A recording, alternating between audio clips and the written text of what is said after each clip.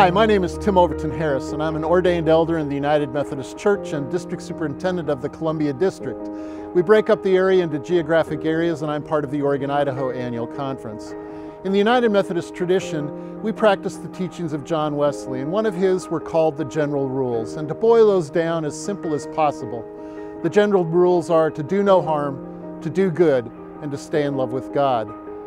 By getting vaccinated, I do no harm because I protect others by being vaccinated. I do good by making sure that I'm healthy and cannot spread the virus to others. And I stay in love with God by taking care of those around me, by showing them my love for them. So I encourage you to get vaccinated, to take that small step, to do no harm, to do good, and to stay in love with God. Thank you very much, and God bless.